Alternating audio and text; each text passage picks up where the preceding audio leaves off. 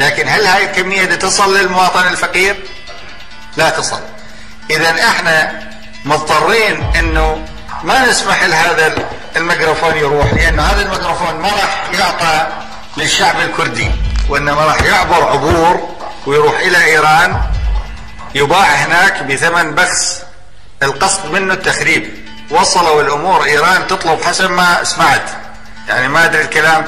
إلى أي حد دقيق؟ إنه تطلب جام مكسر صحيح هذا الكلام؟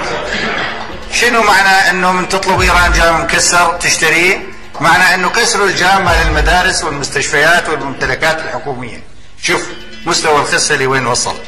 لما الأمور لتخريب بلدنا تصل إلى هذا الحد مضطرين إحنا نتعامل وفق ضوابط معينة على المنطقة اللي ما موجودة بها الدولة. وإلا بعدين بغدادكم نفسها تصبح مخربه